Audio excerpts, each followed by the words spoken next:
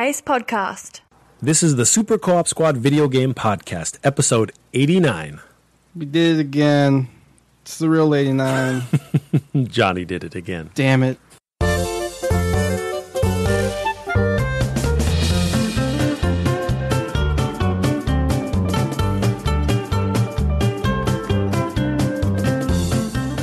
Hello, everybody. Welcome to the Super Co op Squad Video Game Podcast.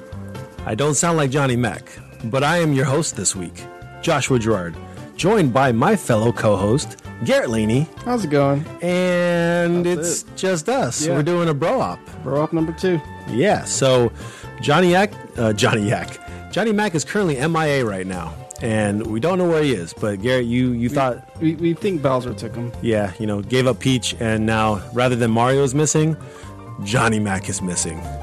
Yeah, but I don't really feel like going through a whole bunch of stuff to get, to, to find them. I, I just think, you know, it's fine.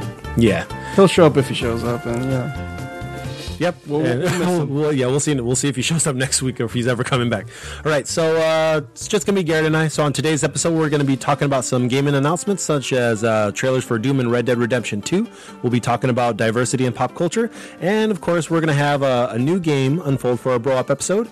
But first, we have our best and worst news of the week. Well, before that, yeah, you're spoiling things. Oh, that's right. That's what is, is different because I'm not hosting. I've only hosted one thing out of this 89 plus episodes that we've done. It's all right. So you're right. Terrible spoiler of the week.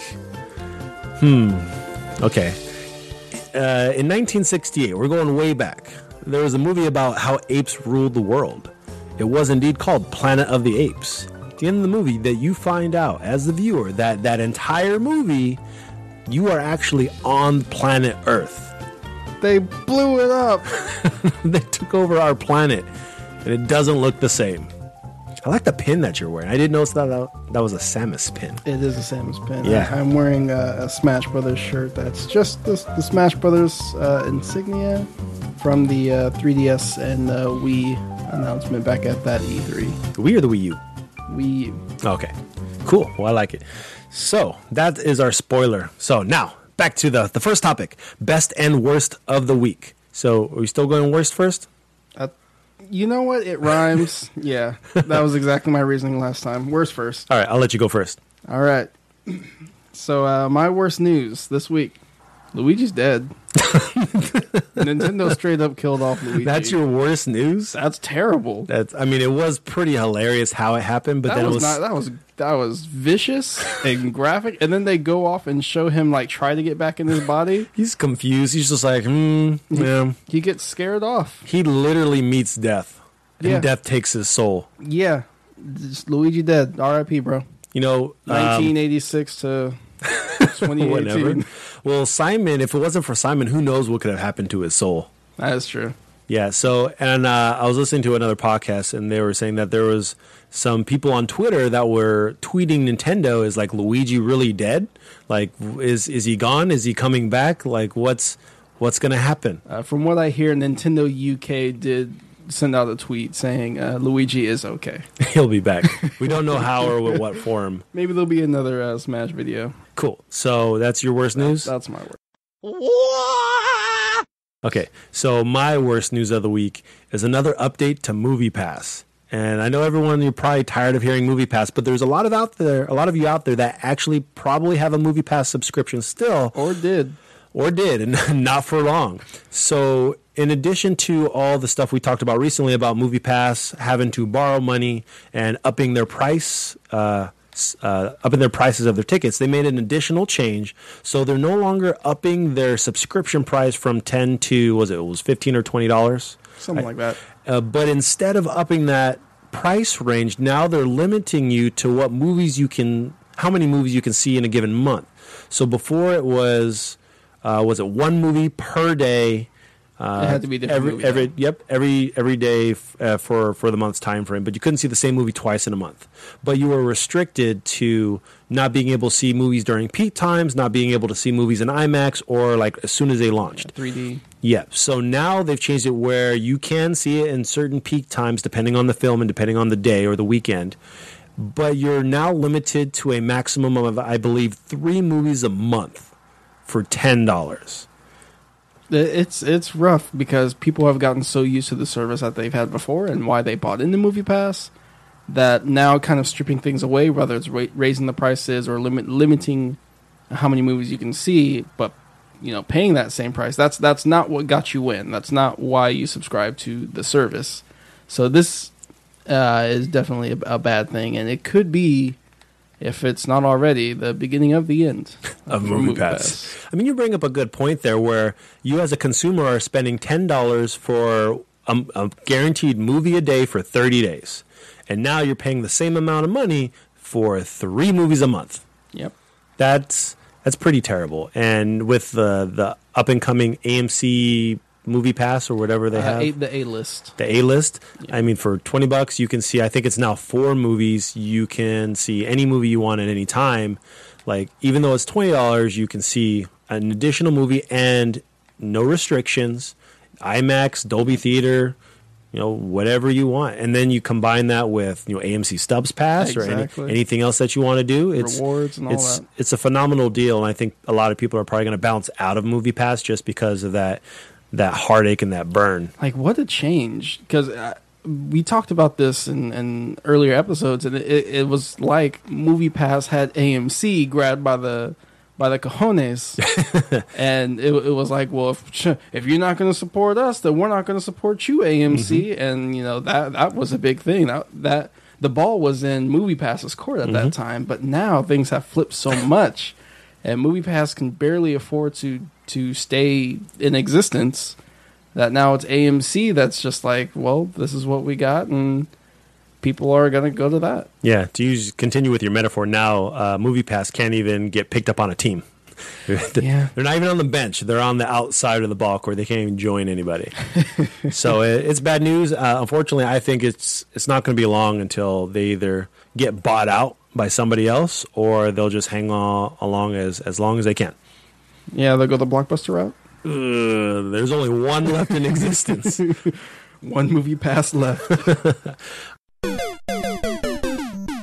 All right, so uh, we can't vote for each other, so it's kind of a neutral thing. All right. It's just news. this time our votes actually don't count. Johnny Mac can tell us uh, his vote next week, um, or if he comes back next week. Yeah. Maybe, maybe he ha- what happened to Luigi happened to him. Maybe death got a hold of him. Oh no! Not like real death, like video game death, like no, no, poltergeist. Ca- Castlevania death. Y- yeah. Ooh, uh, ooh, uh, ooh, uh. All right. You lose. Uh, best of the week. What's your best of the week, Garrett? Uh, so uh, my best of the week is kind of a small thing, but I'm happy about it. Uh, the company Anker, A N K E R. I don't think there's an any other way any other way to say it. Anchor. yeah, Anker? Yeah. Uh, anyway, this company is uh, designing an external battery for uh, the Nintendo Switch, and from what I hear or what I'm what I'm gathering is, it kind of has two options where you can have a, a mode that literally is just kind of like uh, you plug in your Switch into a kind of like an outlet, Mhm. and it can do that for uh, approximately like 15 hours. That's Okay. a pretty long time uh, So- for just the battery pack to sustain your Switch for 15 hours. So do you are you saying you plug the battery pack in to your Switch and it's an additional? Yes. Okay. Yeah. So it's, it's like you know time extended. Okay. You know, kind of thing. Gotcha. Or uh, I believe in about 3.5 hours or something like that. I, I, I don't- can't exactly remember, but you can fully charge your Switch.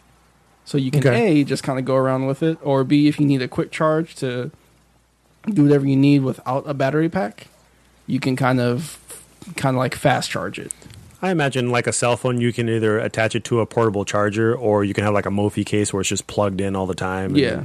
You just continue to use it as you're using the battery life. Ex- yeah. Okay, something like that. So uh, that uh, I'm pretty happy about. That's the only reason why I really don't like taking my Switch in handheld mode is because I'm worried about the battery life, and uh, for a lot of games, that that battery can drain pretty quickly. Yeah, especially with Smash coming out. I mean, you could play what three hours with Zelda, three and a half hours, Yeah. and Smash Brothers is probably going to dominate the the battery consumption. Oh yeah. with everything that's entailed in there. So uh, looking to pick one of those up. Slightly bad news that I found out.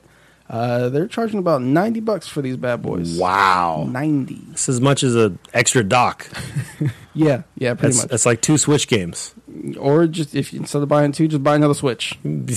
Practically, it's a Reload. it's a third of the Switch cost, or I don't know. Yeah, so I mean, I imagine maybe there's going to be some other companies that might make a competitive price, or I don't know. Ninety bucks is kind of a lot, but for what it can do when Smash comes out, like I'm gonna need one. So Better have flashy lights or something else attached to it. like ninety bucks is a lot. it is. It is. I mean, I hope it doesn't blow up your Switch, like a Note Seven Don't battery. even- don't even say that. Don't even put that out there, man. Okay, I'm taking it back. Taking it back. All right. Anything else on that? That, that's my best. Cool. I mean, it's cool that they have that option. Uh, I'm sure there'll be other third parties that are going to create something like that and kind of compete. Yeah. We'll see how those last. All right, my best news of the week. Not not bad enough or good enough to be a speedrun topic. It's way better than that. So those that know who Patrick Stewart is, I think everybody knows who. Patrick I think Stewart everybody is. knows too. In this upcoming news, he's going to reprise his role as Jean-Luc Picard. the best captain. I would agree. uh, the best captain. Um, he's going to be reprising his role in an upcoming Star Trek series that's going to come out sometime in the future uh, as the captain of.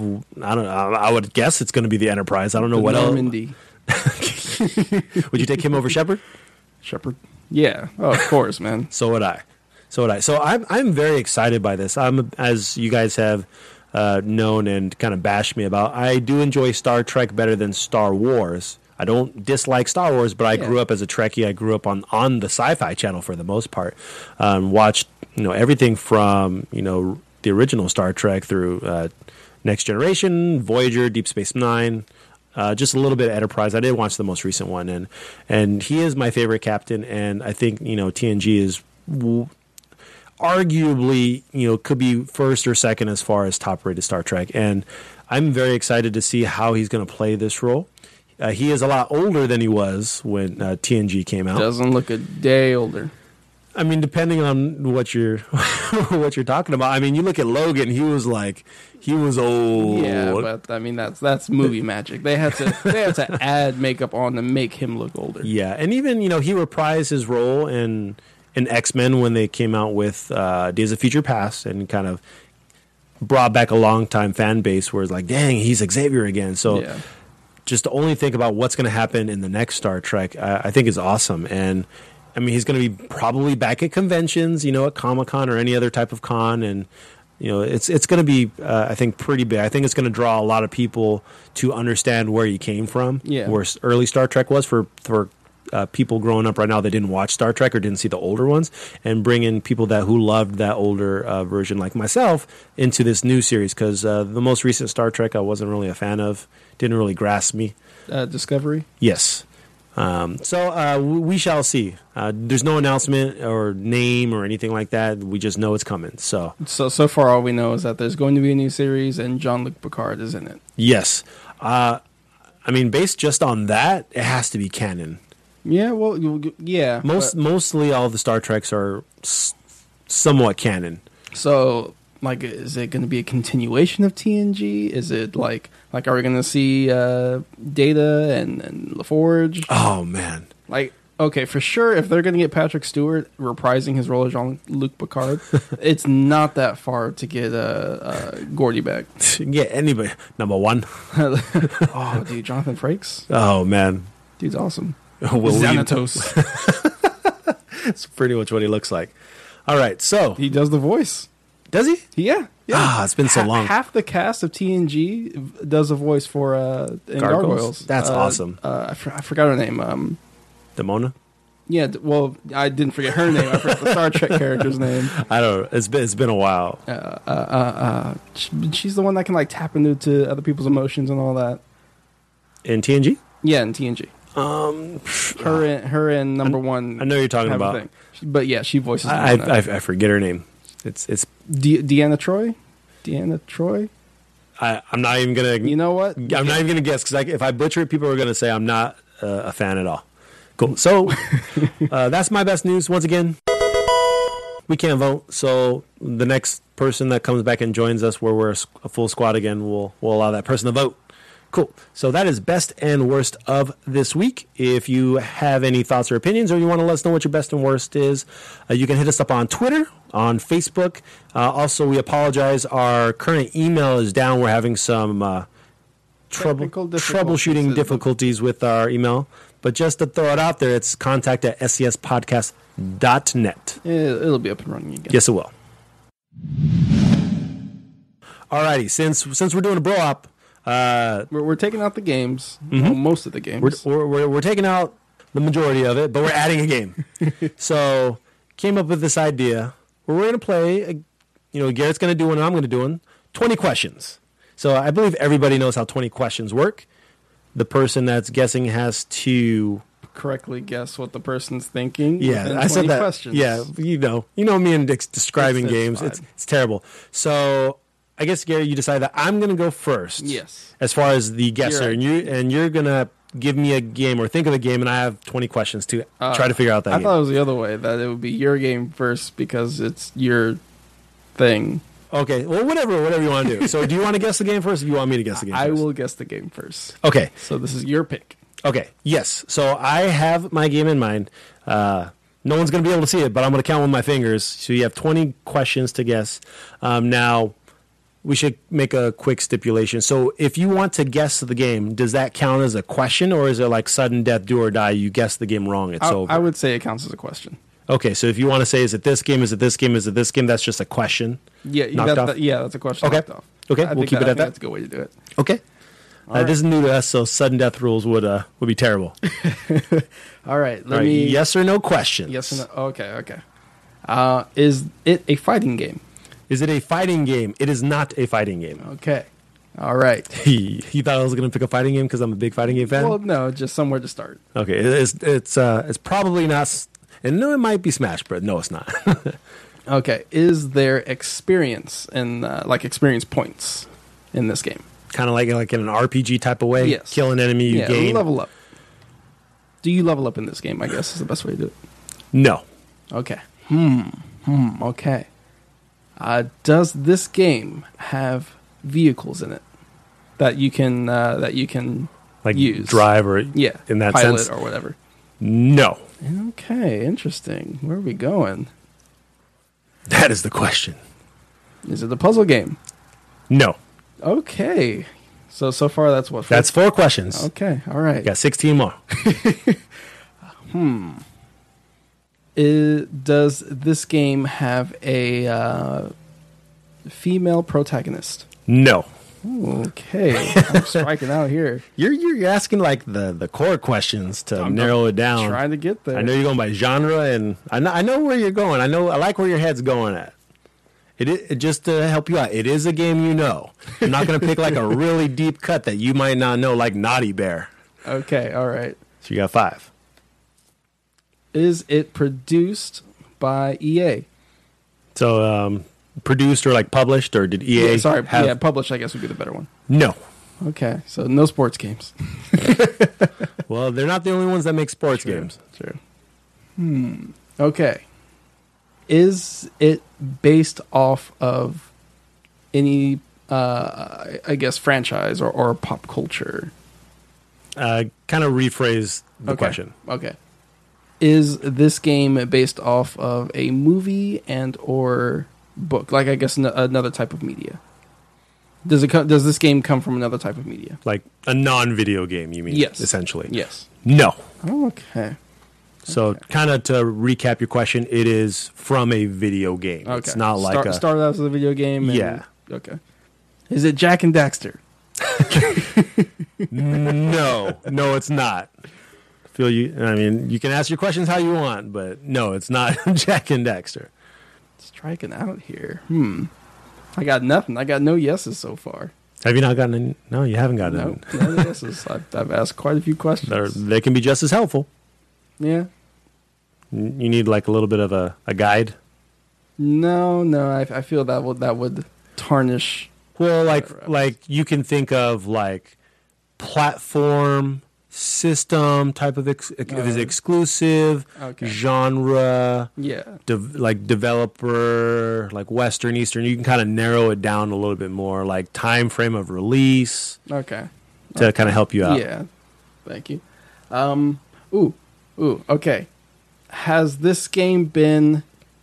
Okay, now stick with me. Okay. Has this game been uh, a PlayStation Greatest Hits, a GameCube Player's Choice, any of those I- kind I- of I- like So kind of a um, before game of the year, it was like the the the must get like the hits, the Yes, hits kind of categories. Yeah.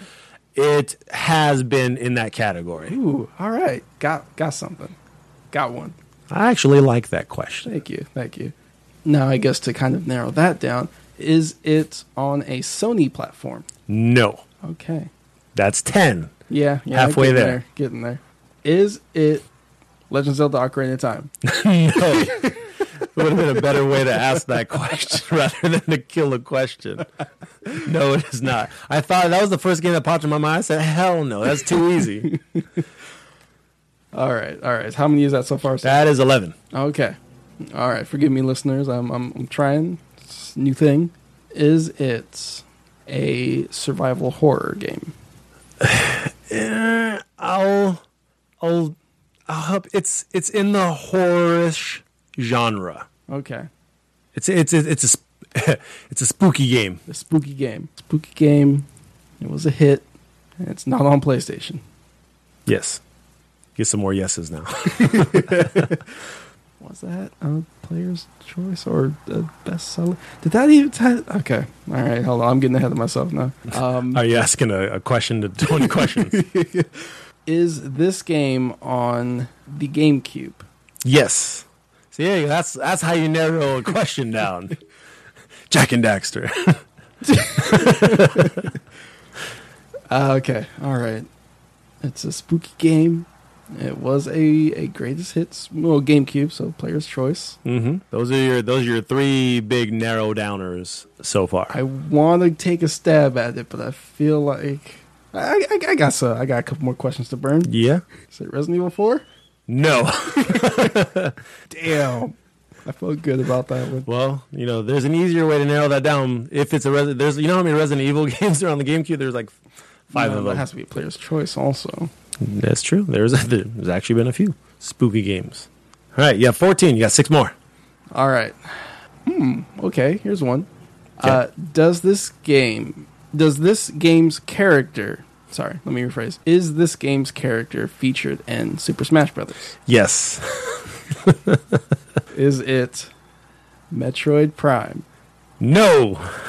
Ouch. That's 16. You got four more. You count Metroid Prime as a spooky game? well, like Echoes was kind of creepy, Yeah. and it was player's choice. Yeah. No. All right. Okay, running out. Running out of time. Yeah, you know it's on GameCube. Uh huh. It's a spooky-ish type of game. You know it's a player's choice hits, which it means it had that yellow yellow tab on the on the top, Uh-huh. and the the there's a video game character Got it. in this game that's in Got it. Super Smash Brothers. Got it.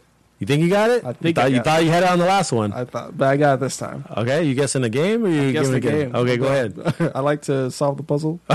Right, go ahead, Garrett. It's Luigi's Mansion. It is Luigi's Mansion. Yeah, man. It is Luigi's Mansion. Good job. That was you. question number 17. Yeah, it took me a while. Yeah, All right, so it's let's, right. let's see if you can guess my game later on in the show. Yes, we're going to save that for later. In so, less than 17 questions. all right, I'm going to try to beat your score. Nice job, Garrett. All right. All righty, guys. We're going to talk about some games. We had some gaming news this week. We had two nice reveal trailers, and then we had uh, an interesting news break from Bethesda. Actually, we got two things to talk about from Bethesda. But first, we're going to talk about the big one. We're not going to talk about Smash Brothers. No, no, no. No, that had a director earlier, earlier this week. Yeah, that last week. Yeah, that's that's something. We'll save that news for later. All right. So, uh, Rockstar has now revealed its first official gameplay footage for Red Dead Redemption 2. And I think this is something that everyone has been longing to see. We thought we were going to see real gameplay at E3. We didn't. We got we got a trailer. We got some nice behind the scenes peeks at it.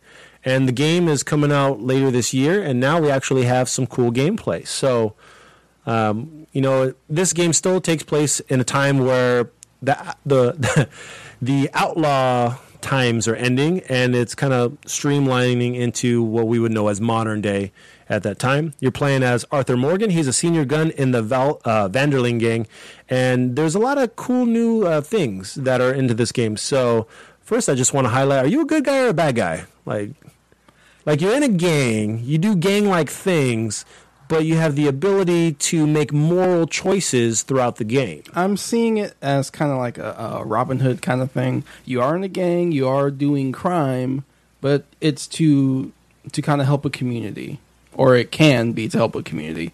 I, I, do think it's one of those moral games where it's your choice. You could do good, you could do bad, uh, but I think genuinely, it's it's uh you and your ragtag gang are are kind of you know robbing from the rich, stealing from the poor.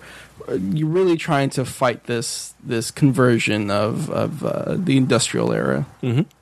Yeah, what I like about uh, being able to make somewhat it's, it's not going to be like Mass Effect where it's like you make you know this specific moral choice or this moral choice, but if someone is stuck in a bear trap you have the option to save them if you'd like, or you just leave them there. Or if someone is hanging from a cliff, uh, or someone's committing suicide, if that's in the game, you know, you have the ability where you can, you know, assist in, you know, saving them, or put a bullet in them. Yeah, or that you can end their misery because they can't make it up on their own. So you have those type of choices that uh, Rockstar said will make an impact in how the game is uh, play. They even mentioned that there was a scene where there was a woman standing in the street and she was looking at you as the main character Is you killed my brother. You killed my paw. yeah. So how does that portray in the storyline? Is someone now going to put a bounty on your head? Someone going to seek revenge? Do you always have to kind of keep your eyes and wits about you as you're going through a town? Uh, it, it's Rockstar is doing what Rockstar does best, and they have created a living world. Uh, they they've done it again, time and time again, but now it's it's even bigger than it was back in the first Red Dead Redemption. Mm-hmm. Absolutely. Uh, the the the world feels so much more alive. The people that you're talking to have their. It, it honestly seems kind of Westworldian, where they have their own kind of uh, lives and their own routines throughout the day, and uh, it's it's really just fascinating how Rockstar can do this. Yeah, and it's not just you reacting to the world; it's the world is reacting to you and what you do in it. And Rockstar has created another beautifully, you know, what we're probably going to consider a masterpiece. You just look at what they're able to do with the scenery, with the voice act casting, with just the motion capture, and it just all looks so fresh and so clean. Uh, in, a, in a clean, clean in a dirty world. Uh, so it's it's something that I think a lot of people just can't wait to get their hands on. Yeah, uh, there, there's a couple of interesting things I'm I'm still curious about. I think they showed off just a lot of the single player, mm-hmm. and it was kind of interesting how like when your gang moves around, you set up a camp, and you kind of do missions to help out the camp. You know, free a water supply kind of place, or maybe get uh, rob a general store or something like that to get supplies or, or whatever. And you, it, it's kind of like a persona thing where you can kind of like level up your your uh, social links with your gang members mm-hmm. and go on exclusive missions and probably you know kind of like unlock some things for uh, get some rewards in the game that way. But uh, I'm curious if maybe if they do well, obviously they will go into a multiplayer online thing, mm-hmm. uh, very popular back in Red Dead Redemption. If you guys, your gang, your friends can set up a, a campsite and and kind of be able to uh, a home base and all that kind of stuff. Uh, will we have our a shared one? Will I have mine when you join my game, and then you know you just kind of mess around in my base? You know, it's still questions that I'm sure they'll answer later with more reveal trailers, but just something to think about. Yeah, and one thing that, and you had mentioned it kind of earlier on in, in, the topic is as far as you know camps and you know kind of moving around. Uh, they said that virtually every new area you're going to be able to uh, un- uncover or discover is you can set camp there, and then based on that, you can you know herd for for cattle. You're hunting for food. You're cooking food. You can, uh, I guess, you could say, shoot the shit. as far as tell stories, listen to stories, and that's where you kind of said that you kind of gain not necessarily experience, but you gain a little bit more rapport with the people that are in your camp. You can play, you know, other games, and I'm sure they'll bring back some of the classic ones like Liar's Dice and Poker. Yeah, yeah. Uh, and they'll probably bring some new ones back. And it, it's it's nice to see that that will probably entangle into some type of storyline, but that's how they did it back then. You uh, got to a ar- new area, and it's almost like Dark Souls meets you know Final Fantasy 15, where you go to a new area. Here's your bonfire, you camp out, and now you're just eating, cooking a meal, and you know Aha! I've got a new recipe. we're eating some deer today.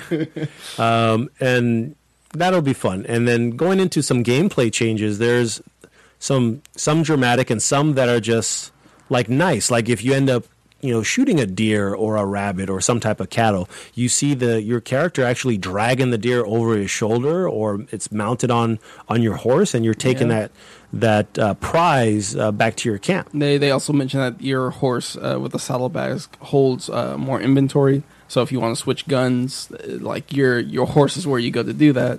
Uh, if you're hunting for animals, which by the way, I did see a bow and arrow. Very Mhm. happy about that. yes Uh, but if you are hunting animals and you you you know take a shot and it doesn't kill them, you now have to track them, or you can track them. They'll leave a blood trail, maybe broken twigs and that kind of thing. You literally are like a hunter tracking these animals, tracking down this game. Yeah, and this is uh, what adds to the fidelity of not only just how people actually did things in, in the Wild West, uh, but just it adds a different style to gameplay. Because I didn't really play any Red Dead. Was there a tracking system in Red Dead Redemption? Uh, there was, it, it was, it, it wasn't as like uh, in, intuitive. I think. I think it was like you're following uh, footprints or something like that, and that kind of goes on your mini map. Uh, Gotcha. Kind of compass thing. It- Almost like a mission. anything- Yeah, exactly, exactly. You have your little waypoint, and you're just following tracks that show up on the map, rather than you actually looking for prints or blood stains. Eh, precisely. kind of like at the beginning of God of War in PS4, when you're with Atreus and you're hunting that boar. kind of. Uh, yeah, yeah. The boar, not the deer. The Correct. boar. Yeah, the boar. Yeah, yeah. Yeah. Okay. Cool. Uh, some other uh, things that they've added is uh, gunplay. You know, it's a little bit more uh, tight, a little bit more sophisticated. They said that you know you'll be able to feel the recoil. Um, I don't know if that meant by you know vibration on the controller or your character actually recoils based on the type of weapon he's using. You know, you know Will Smith with a noisy cricket flew 50 feet. So if you have a pretty heavy shotgun blast, you'll probably you know not be able to you know Heavy Uh, machine gun. not be able to just shoot off shells like one after the other. Yeah. And uh, there's a lot more detail in, in the fisticuffs when you're actually fighting. And we see in the, in the beginning of the trailer that your character gets thrown out of a bar, you know, probably from a fight, and then you have someone just kind of creep up out of the bar like ready to fight you. And you're, you know, you fall in the mud. You're covered in mud. It's raining in the background, so just the attention to detail is is so pure and just excellent. And then there's a crowd of people coming out of the neighboring stores or buildings to like fight. stick out on the street and they're like looking to see what happens, which is how it is in all the movies. Yeah. Um, I'm sure. I'm sure you'll have a uh, a shootout. yeah, showdown. Yeah, where it's just like you know, I can't whistle. You do the whistle. Wow, wow, I wow. I don't know if that's going to come out very well. Yeah. Um, so it's high. So a lot of stuff like that um, is going to be featured in the game. I think one of the things that's going to be really cool is the new. Um, they're calling it the Deadeye system, where if you have like a you know a six shooter and it's almost like in slow mo, kind of like in Max Payne, but you'll you'll aim at a target, you'll you'll shoot the trigger, you'll aim at another target, shoot them, and then you'll do that up to however many times, and then in real time when it shoots back, it's just like pop pop pop pop pop, like you're uh, slapping the trigger. See, they're saying that's new, but I'm pretty sure that was in. Uh, In the first one, yeah, I'm pretty sure that was in Red Dead Redemption. I think they're changing up how either how it works or any any other type of features built it. in with it. They Yeah. they say it's a new system, even though it's kind of piggybacking on the old Well, one. maybe because I'm thinking Deadeye was more just maybe maybe it's been a while since I played it, but maybe just slowed down the the system so you could better aim your shot, kind of like focus time Hmm. or something like that. Where this kind of mm, you you set your targets, you mark your targets, and then you know fire away. Yeah, and then it's just automatically based on where you aim versus like maybe one target with rapid fire. Yeah. Cool. Um, anything else you want to talk about with Red Dead? I mean, it was a, it was an awesome trailer, and uh, I'm looking forward to seeing more. And then in the beginning, they're like gameplay part one. Yeah, so I'm like, oh, okay. I, I guess I thought further in that same video would be, oh, part two, the campaign or, or story or something like that. But multiplayer. It's going to be a whole nother video released at some whole another time. Probably next month. And do you like how they they're doing that? Um, it, it doesn't bother me. It, it's the the presentation of it is pretty like well informed, and you know they give you a lot to look at and a lot to think about, and they show off a lot of what they're doing. So I think I think it's a good way to do it. I would like to, it to be more frequent. So I'm hoping it's not the next videos next month. I'm, you know, and they just do a video until a, a month until the game comes out. But uh, I'd like it to be uh, more, more uh, frequent. Yeah, I don't mind it showing, you know, part one because you know there's other stuff to show off. But now you're talking, okay, wh- how long do I have to wait?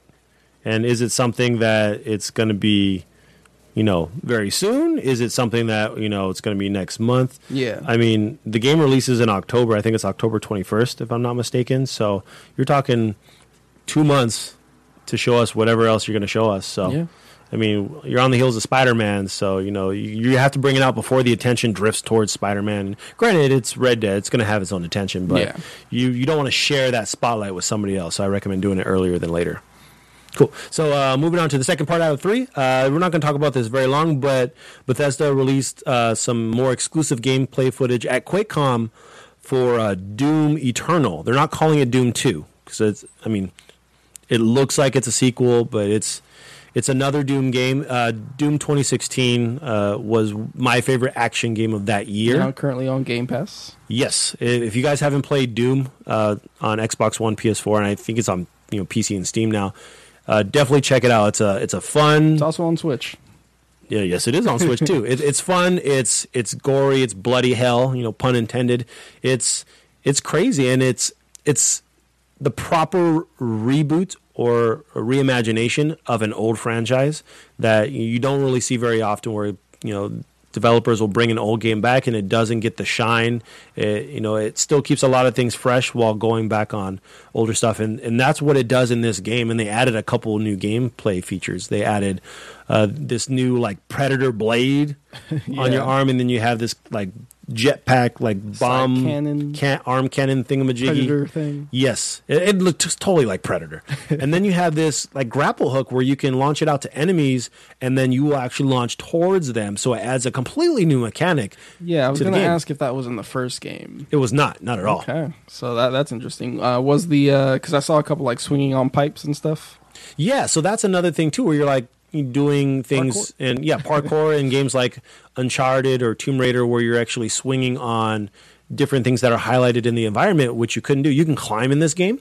Yeah, you saw see, you see him scaling in the elevator. That reminded me of gargoyles. Yeah, so you, you couldn't do any of those things in the previous game. It was just pretty much you know gun and shoot. Okay, so a lot of more movement options. A lo- Yes. a lot of more traversing the the level. Yes, and even uh, you have this little, almost like a dash boost, like uh, in the exoskeletons in uh, Advanced Warfare for Call of Duty. It almost seems like uh, depend. Well, okay, with the information that these movement options are not in the Doom 2016, Mm-hmm. it almost seems like this is going to be more of kind of like an open world game. Uh, yes, I did get a little bit of that feeling when it came to you know kind of traversing hell. Uh, the space station, uh, not so much, just because when you're traversing that portion of hell or wherever they were at, it it wasn't as much open area, but you did unlock certain doors after going into a room or going to an area. You came back, there was a different monster there, and then a new path opened up. So I'm curious on how much back and forth, not necessarily Metroidvania, but you end up probably revisiting a couple areas, seeing some new enemies. You still have the map, which you cannot have Doom without a map. So I'm glad that they kept the map in there, and you know it's it's just the the execution moves are different. Just even with the blade, it's just it's just awesome. If you like violent like action games, this is something to definitely check out. I have not uh, played the Doom 2016. Uh, I did download it on Game Pass, so might check that out and uh, see if that, that excites me for Doom Eternal. They uh, you he collected uh, Doom guy collected a one up in the in the trailer. Yeah, yeah. So I don't know if you're gonna have lives or if that's just kind of a nod. Even the Marine soldiers in the beginning of that trailer, that was from the original Doom. Okay. Uh, and you didn't have those enemies in Doom 2016. So uh, I'm very excited to see what other nods. Uh, even the health vials. You didn't have uh, like those type of health vials where they look like the old school game. so I'm hoping they're going to have some more like Doom secrets. All the callbacks and stuff. Yeah, I'm very excited for As that. long as the little, little Doom guys there, you know, we can like you know do the do the pound fist thing. yeah. All right, and then uh, the last uh, news uh, in this segment, uh, Bethesda again with Fallout 76 has a new gameplay twist uh, that they're adding in it's primarily to reduce the griefing and you know the- Trolls and- yeah, all of that in the game. So Just uh, general assholes. uh, briefly, Garrett, go over uh, the description of uh, griefing or a griefer in video games. Uh, just someone that's just trying to, you know, troll you, mess with you, trying to upset you. And you know, with using the gameplay mechanics. Yeah, and in a lot of these uh, different types of shooters is is killing you, whether it be friendly fire, you're on the same team, or you're just you're building your house and then someone just invades your world and just takes you out. Uh, you know, you lose your loot, you lose whatever you have in the Yeah. in, in the game, depending on the game. So th- I, I really like where they're doing it. So uh, I want to take a sec to go into it. So with this new uh, gameplay, I don't think they have a name for it yet specifically, but uh, you all, we all know this is going to be an online game. You'll be able to interact with other players in your world or in their world or in the in the In the, space. sh- in the shared world, it, Yes, it's on the thank you. server. Thank you. Yeah. Shared world. So players can shoot other players in a non PvP manner, and rather than the player taking whatever damage it would normally, the player is going to take some type of small or minimal damage.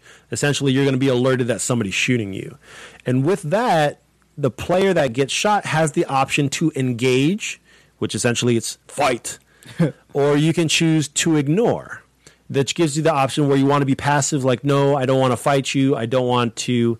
Uh, I don't want to have a chance of either you know risking it all, whatever I got, or you know I'm busy right now. besting now. you. Yes, especially because there's a building mechanic in this game too, and so if if the player chooses to ignore. Uh, you still have the ability to get shot and potentially killed. But if you actually ignore and the uh, other person ends up killing you, a bounty will be placed on their head and they will be, you know, quote, wanted for murder. And what this does it, you know, that player that's wanted, now the killer, I'll just dub that, they get zero XP from the kill, they don't get your loot, and now other players in the shared universe can hunt them down and earn experience points because it's now a bounty. Now, the higher the level the killer is, the more potential bounty uh, rewards one can reap for killing them. And also, the killer will be marked as a red target on other players' maps, so that way they know and they will get alerted. Hey, there's a murder in your in your camp in your in your town. But the neighborhood watch. Right. You'll see a sign. hanging out. uh, but the killer will not be able to see any hunters that get that notification or where they are on that map. So it adds a new kind of dangerous style of gameplay where you have to kind of tread carefully based on your actions. Yeah, don't be a jerk. So, uh, what do you think about that? This this is a great way to handle it. It it doesn't baby the player where it it uh it's like oh they didn't want to fight? Okay my bullets no damage kind of thing. And instead it uses it, it it uses the world that it's in the setting that we're in and is able to turn it uh turn this I don't want to say experience but the situation into a mechanic of the game. And I think that's a brilliant way to do this and to reward players to hunt down these you know griefers or these you know trolls or jerk players that that's just incentive like people are hoping that there's going to be people uh, you know those kind of jerks out there like that uh, just for the experience and and loot Yeah, and I, I totally agree. And there's other games. It could be fighting games. It can be other games, uh, competitive shooters, where you know trolling or more specifically rage quitting. You know, on a match, especially you know when you're losing, there have been some type of penalties where you know you don't gain experience, you lose experience, you're banned from the server where you can't play uh, online for X amount of minutes or X amount of games. But you can't really do that in a shared universe like this game or in like a Destiny.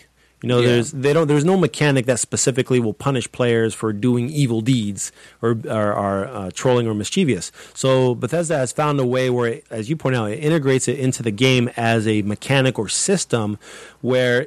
I mean, if that was a real world, there are people that are, you know, just hunting and trolling and just killing people for their loot.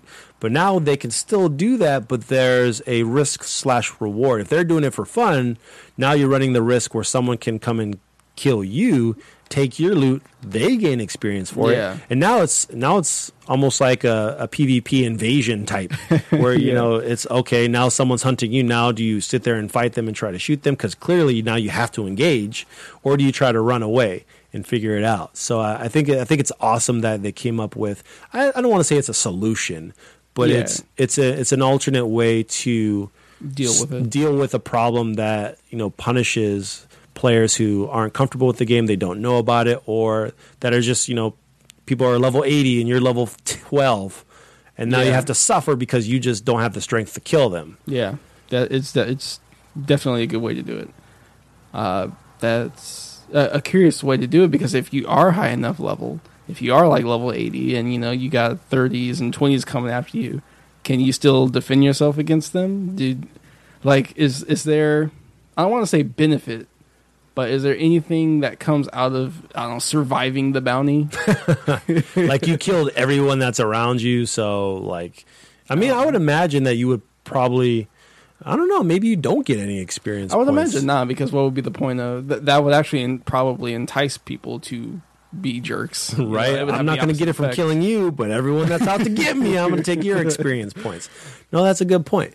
Um, it'll be interesting. I'm sure there'll be something else. I mean, I'm I'm sure there'll be an option to turn on or off the ability to you know be passive or not engage and make it where it's you know 100 percent of the Well, time. From what I hear, there is an, an option to kind of display on your name whether you're passive, like uh, something about being like a pacifist. So so other players know that okay, you, you don't want to fight right now. Like I- don't don't even bother. Yeah, I, I do believe there's some sort of option like that uh, that will let other players know that you're you're not interested in PvP, uh, which is pretty pretty good because sometimes you know you, you don't want to. You, sometimes you just want to explore the world or or whatever, get some loot.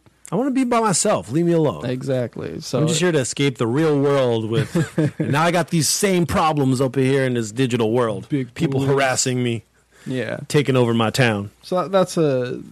I, I think Fallout 76 is is going to be a lot of fun.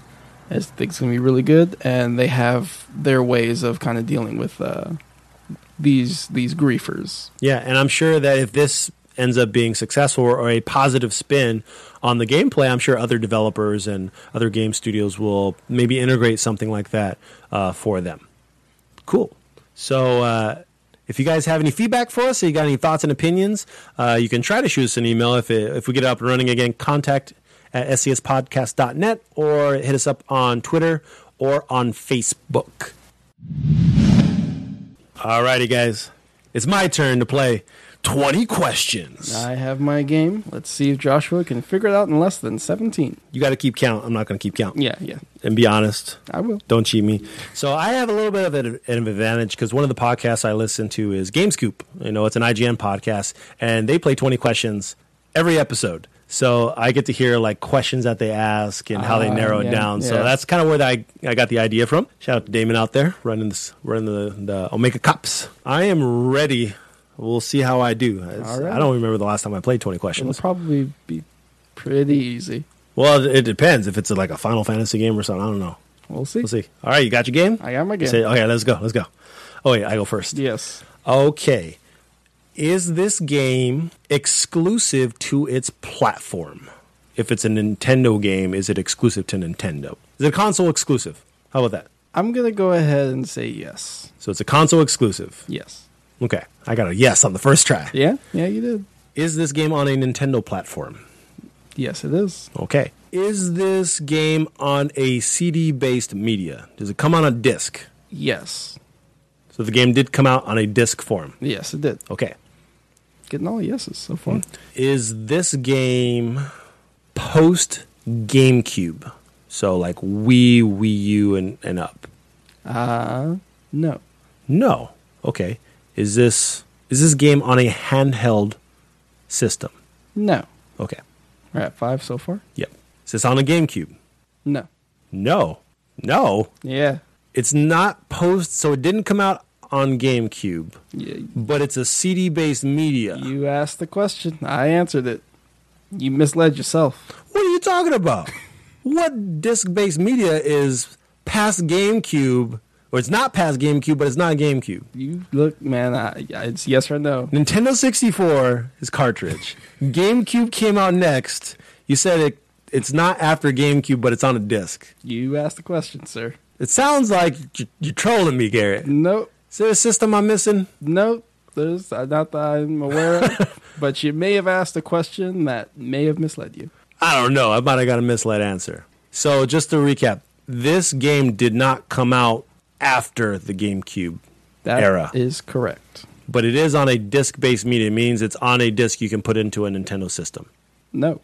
That, that's what I meant when I said disc-based media, and you said yes. Yes, because it is on a disc, or it has been on a disc, not a Nintendo one. Yeah, that's what that's what I meant. But Look, bro, you you asked the question. It's yes or no. I can only say yes or no. But you're at six. You still got time. yeah, I get that. I get that.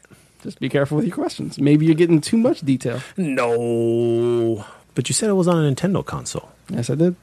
I don't. I don't know. I, I think you're jiving me on this one. Is this game made by Nintendo? Made or developed by Nintendo? No. Okay. Is this game? Hmm. Does this game have multiplayer? Yes. Okay. Okay. Is it a fighting game? No. Okay. Do you shoot guns in this game? Yes. Is it a first-person shooter? Yes. Okay. Is that ten? That's uh, 11. Okay. The first-person shooter on a Nintendo console that you said was a console exclusive on a disc-based media, but it's not on not on GameCube, it's not on Wii, it's not on Wii U. No. It's No. not on any of those consoles. No. Is it on the Wii? No. No, it's not.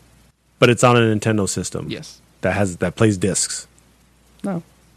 Well, that, that's what I was saying in the No, beginning. you asked if it was on the disc. I said yes. well, you got to lead it down to the question. If it, it's the first question was, is it on a Nintendo console? Uh, it's you're asking me yes or no questions, man. Is it on a Nintendo console? Yes. Is Yes. it on is it on a disc on a Nintendo console? That's That now that's a way more specific question to which I can say no. It's incredibly more specific. that's what that's what I was con- concerned That's with. what you wanted, but that's not what you said. so that obviously means it's on a cartridge on a Nintendo console. I'm not. You don't. Yep. Yeah, that's what you're saying. You didn't have to. ask. that's not a question. That's not a part of the questions. Is this on Nintendo 64? Yes. Okay. That is twelve, I believe. Is this game made by Rare? Yes, it is. Is it GoldenEye? Yes, it is. You're a punk, dude. You're a punk. Which has been released on the Xbox 360. GoldenEye, I don't recall being released on the Xbox 360. It was a reimagining or like a reboot or something like that. Are you talking about um, like Quantum of Solace? Or? No, no, no. It was it was there's a GoldenEye that was remade. I'm pretty sure it was on the 360. I don't think it was GoldenEye because the actual GoldenEye game that came out again was was on the Wii. It wasn't the exact same game, but they, Okay. because remember it did come with the uh, um, I think a gold controller, a gold classic controller or something. Okay, that might have been uh, my my confusion because I do remember it being on the disc. I could have swore it was 360, but then I started questioning: Did it come out on the Wii? It did. There there was a Wii version of GoldenEye. I just don't recall there being specifically like that GoldenEye on the 360. Yeah, GoldenEye 007 was on the Wii, so that was my fault. It was it was on the disc past GameCube. Uh, Technically. How many questions was that? Uh, that was uh, at the end, I think, uh, 15. All right. Well, I beat you on that You one. did beat Well, it's the first time that we're doing this, so you're getting the hang of it. Maybe if Johnny likes it when he comes back, maybe maybe If he we'll comes back. If yeah, if he comes, maybe we'll squeeze it in there. Bowser ever lets him go. All right, 20 questions. Uh, maybe you guys uh, listening can send us some suggestions and then we'll use that in future episodes. So let us know. All right, we're going to go into our core topic. It's uh it's a little bit of a uh, I don't want to say it's a sensitive topic, but it's definitely a con- uh, a topic of controversy that has been uh, floating around, especially in the recent couple months. So we're going to be talking a little bit about diversity in pop culture, particularly uh, pertaining to movies and TV shows. Now, uh, some of this deriving from you know characters from comic books or older uh, forms of media. In recent months, there has been some controversy about the changing of characters in upcoming movies and TV shows. These creative changes spark fans uh, outcrying about how they feel about their favorite or beloved character, uh, whether that has a, a new look, a new style, uh, a change to their appearance, their personality. You know, just the character. There's something different about the character that's not true to when it came out or or the Origins, lore. Or, yeah. yeah, there you go. Origins. Uh, that's a good word. So um, one that we'll briefly talk about. We have a couple, but the one that's of uh, recent news. It's possible that Idris Elba is in talks to be the next 007 agent, uh, James Bond. The reason why this may or may not spark controversy is uh, Idris Elba is an African American male, and James Bond has always been Caucasian. Yeah. And we've seen different examples, which we'll go to in a second, uh, people um, sharing their thoughts and opinions, for good or not so much, about you know how they feel that character should be portrayed. So, just to talk about Idris Elba as a potential James Bond uh, agent, what are your thoughts on that? I think that's pretty cool. I like Idris Elba a lot. Uh, I like him as an actor, uh, and as a kind of uh, super spy, I think would be pretty cool.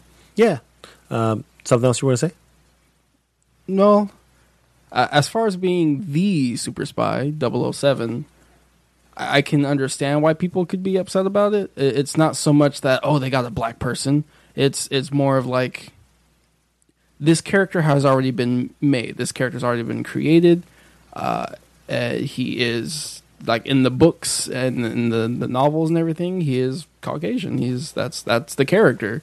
Um, I think you could have easily have just made another agent maybe, and just made that Idris and be have Idris Elba be the new guy, the new agent. Maybe make 007 the code, uh, the code name rather than the the, the spy. The the name, Yeah. yeah, 007 is this person, not like now it's James Bond every time. Yes. But- Exactly. well, well, based Like on more of a mantle.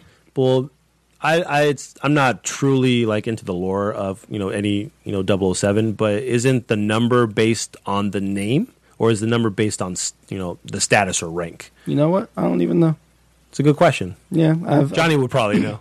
maybe. I know there's the 006 and and all that, and but I, I think making it a mantle uh, would be kind of like a creative way to to show why we've had so many different 007s. Why there's been Roger Moore, Craig Smith, uh, Roger Craig, Craig Smith, Uh, Roger no, Craig Smith, no. Um, oh, Daniel Craig. There, there you go. It's Craig something. No, uh, Ro- Roger Craig Smith is the voice of Uh, Sonic. Pierce Brosnan, Yeah. uh, Sean Connery. Sean Connery. Yeah, so I think that'd be an interesting way to show it. And then you can have whoever you want to be 007. But if it has to be James Bond and James Bond, the character, is Caucasian, then I can see why people would be upset about this. Yeah, and I think that really stems from like this is how we know this character to be. Yeah. and you know not even just in pop culture just people don't human beings don't like change it doesn't matter what it is you can change the scenery change your home change your school change your outfit like some there's a lot of people that just don't like change it's it's different it's like oh no get out of my face Yep. so and that happens a lot more when it comes to pop cultures movies characters video uh, especially video games I, I, I think there there's a certain uh, another level. As you said, people don't like change, but when it comes to pop culture and people who are passionate about about a thing and and then it's changed, I think that kind of adds a level of of not rage, but uh, of being upset. Um, pe- people are passionate about about comics and video games and movies and TV shows, and they like the characters. That's why they got in on, on that fandom is because the character is this way, and to change that, I think upsets a lot of people. And to honestly, to be completely honest, I, I understand why. I can understand that. Yeah. Okay. So, uh, uh, time out on passion. Uh, uh, I'll give my thoughts on uh, Idris Elba. I actually like Idris Elba a lot uh, as an actor. Uh, I think when you look at some of the, the movies that he's in, just just him in a suit, like he has that he has that uh, suaveness about him. He has that uh, what's Debonair. he what's what's the what's the the young kids term that they use swag. He's got that swag, Yeah, and you know James Bond is one who's a ladies' man. You know he has this sexiness about him, and he has this authenticity that he's able to romance women just by you know his his accent number one, but also just kind of how he carries himself. And I believe that is true to that character specifically, amongst other things. And I think Idris Elba has the ability to act in that manner. Not everybody can. Not everybody, you know, some people try, but some people can't. I think I think Idris Elba can actually pull that off, uh, regardless of him, you know, being you know African American. Now, to your point on passion, I agree with you there. But also, there's the type of passion from the creative side where you have a passion for just the franchise for the characters that you want to maybe include a creative difference and that can be in race that can be in gender that can be in some type of orientation so uh, we have to look at it at, at that side too if we have a creative direct, direction that we want to go to we want to change something because we have a different type of vision uh, why do people think that's not okay or do people actually not think about that that there is a different type of creative side and it's just it's about what we want not about what they want to create You bring up a good point, and something actually relevant to this, um, recent, somewhat recently, is the new Thundercats, Thundercats Roar. We have talked about it before. We talked about this kind of new direction that animation's been going in the past couple years. Um, the guy, I, I don't remember his name because I don't care to. Uh, it says that he's very he grew up on Thundercats. He loves Thundercats. He's he's passionate about Thundercats to me, being on the outside, obviously, you know, I I see Thundercats my own way. I've I've also grown up with Thundercats. I can't see how someone who is a fan of Thundercats would want to go in this direction with Thundercats. But a- again, I'm I don't have a, a creative bone in my body, kind of thing. You know, I, I don't see uh, the the potential in it, but. I'm sure that he, he, he must know what he's talking about because you know, Cartoon Network hired him, and you know he's give him a shot give him some money Yeah. yeah. Uh, and I, I can I can understand wanting to change. I can understand wanting to shake things up to kind of breathe life into a franchise. To to I mean, th- think about God of War that just came out. They went in a completely new creative direction with that, and that that that that franchise has has blown up in a good way. Mhm.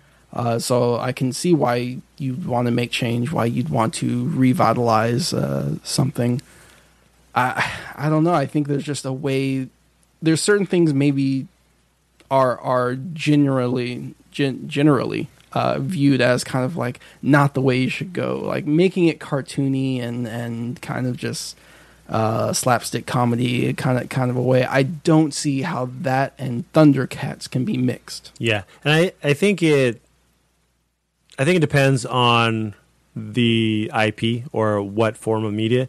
Because in your Thundercats example, for us that grew up with Thundercats, I think it's more of a nostal- partly nostalgic, but also we see Thundercats very specifically as this character, this theme, this art style, and anything different is just not normal for us Yes. where um, again I don't know his name either, but the guy who's running the new Thundercats Roar, he's such a big fan that he mentioned that there's going to be a lot of callbacks, like as far as characters, villains, enemies, jokes that tie back into the original series that fans like us will acknowledge and you know will remember, and at the same time make it new and fresh to appeal for audiences that didn't grow up with Thundercats. so yeah. if, if you look at any kid that's right now that's between the ages of six and let's say 15 if they were to watch the thundercats that we grew up with they would probably be turned off on it based on everything that they're watching now Yeah, and like the the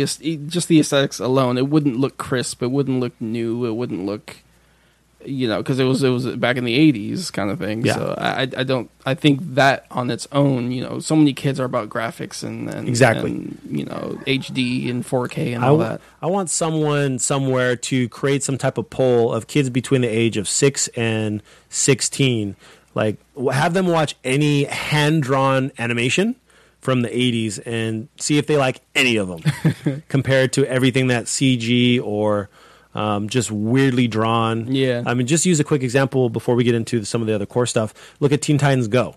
Completely different from what we grew up with with Teen Titans. Yeah. But it stay, it still has that that flair. It still has the comedy. It still has the jokes and the quirkiness. Just the art style is completely different. But all those characters are still true to what they were. They just look completely different based on the art style. Uh, I, I don't know. I'd argue a little bit, a little bit of that slightly. The characters are, it, I mean, it's Robin, it's Starfire, it's Raven, but like in Teen Titans Go, Raven's a, a brony. You know, she she loves this. I don't know what the show is, but it's some sort of My Little Pony show that Oh, Raven that's loves, yeah, that's not Raven. which is actually kind of funny because Tara Strong voices Raven and also voices Twilight Sparkle from My Little Pony. okay. So it's kind of a- Shared a, thing universe? Um, but one thing I do want to actually say that you had brought up about Teen Titans Go is that yes, it's very different from the Teen Titans that we know. But when you when you kind of mentioned there, there are so many inside jokes and references and Easter eggs and callbacks to the DC universe, like that on its own. I yes, that uh, a creator, the creators of Teen Titans Go are passionate about DC. They are passionate about these characters, and just being able to kind of make these jokes. Uh, it is a a funny and cool thing like that, I, I I can see where the passionate stuff has come from. So maybe the Teen Titans roar. Sorry, the Thundercats go. No, I'm kidding. Uh, the the Thundercats roar uh, show with its callbacks. Maybe he knows what he's doing. Maybe he is truly a, a passionate fan of Thundercats. Yeah, and what what's I feel how I feel with that and everything else that we're also about to talk about. I think you have to give it a shot. I think you can't judge a book by its cover or judge what someone is trying to do as far as as far as a creative difference. So, I mean, looking at you know even you know a African American an African American playing Bond like it can be awesome. It could be Idris. It could be a different African American, or it could Smith. be it could it doesn't even have to be a black actor. It could be it could be just a different type of ethnicity. Like it's not what we're normally it's not what we're used to as that character, but it doesn't mean it's bad. It doesn't mean it's not going to work. And I think with these shows, with these you know actors, uh, with animation styles, I feel that we should give it a chance. I mean, just because we see a like a two second clip and it's just like, damn, that what did they do to my show? You got to you got to at least give it a shot to succeed. And if it doesn't work after that, then okay, then you can just talk bash it yeah, that's the fair thing to do. Yeah. I'm probably not. Uh, Okay. So uh, finally, moving on. To yes. some other. Topic. no, it was good stuff. No, it was good stuff. So uh, a couple of the things that had some specific backlash. Uh, Starfire uh, in the Titans uh, upcoming show. Yeah, which was what uh Showtime, TNT. No, the no. Uh, well, I don't think we know exactly because that's uh, Um, Warner, Warner be- Brothers might have their streaming service, and Yeah. then some other type of network may pick it up. We don't know which yet. There's a lot of backlash. Um, I don't remember the actor, but she plays Starfire, and Starfire is being played by an African American woman. There's been a ton of backlash on her specifically because of the color of her skin, because that's not how Starfire is portrayed. Starfire actually has more orange skin, if anything Yeah, but because of just the skin tone, there's a lot of pushback, and people are attacking not just the studio; they're attacking her personally. yeah. That's when like they're taking shots at her. I can understand the the outrage, and the the outcry, and all that, but when you actually go to the actor or actress, that's too far. That's like they're they got a call to be a part of this. They took the shot. They want to be a part of it. And just because you don't like where the, the direction of the, the director or, wherever is going, that's I, I don't think that gives you freedom to to harp on the the actor or the actress. No, it's it's not right, and I think I think it's a big problem, especially in in a world where you know you know you know in politics, especially where we have you know uh, a president that a lot of people think is dividing, you know, uh, as far as you know people and and nations, and you know we, we're just we're just belittling someone who's just trying to trying to find a job or trying to trying to work. Yeah. I mean. If you go into a restaurant and you don't like the food that they serve, do you do you talk smack about the restaurant? No, you just don't eat there. So, like if in this case, I feel if you don't support the creative choice rather than just bash the person that's playing the role, just don't go don't watch the movie, don't watch the show. Like if if you don't like fighting games, you don't talk bad about fighting games, you just don't buy the fighting game. Eh, I don't know. I don't like racing games. I mean, do you buy racing games? No. No, but do you talk bad Except about Mario racing Kart. games? Yes. Is that, Kinda. that's that's More slightly so different. You're Microsoft. it's because you're it's because you're trolling because you specifically don't like Forza. But Forza. context, yeah, we need a little context. So Yeah. so um, you know another one that recently came up. Uh, Batwoman. There's a Batwoman TV show coming to CW, and the uh, the actress that's going to be playing that, uh, Ruby Rose, she got backlash. Um, To the point where she took a break from Twitter. yeah, she she uh, removed her Twitter account, and in this case, and you know a little bit more because you're into comics. Uh, I didn't even know that Batwoman was a thing, and that particular character is a lesbian in the comics, and she Cassandra Cain. hmm She, you know, enjoy, you know, dates, you know, in the same, you know, same sex, and Ruby Rose has came out as gay in her early childhood, and that's you know how she had identified herself. And she's received comments that she is t- either too gay for the role, or she's not gay enough for the role. And how, do you, get determine that? Yeah. Like, how, I mean, how do you determine that if someone is acting for a role? Like, Yeah, first of all, that that notion that not gay enough or too gay to play a character, that's dumb. That they're they're actors. That's literally their job is to play someone they are are not. Yeah. Leonardo DiCaprio is not, you know, he's he's not still in the ocean. He's not still Jack holding on. He's he's he's an actor. He's paid to do that.